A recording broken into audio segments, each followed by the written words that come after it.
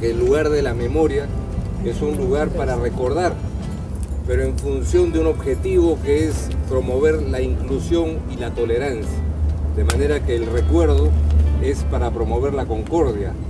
la memoria es para acercar a los peruanos y a las peruanas y especialmente a que los peruanos y peruanas del futuro, los jóvenes y los niños de hoy,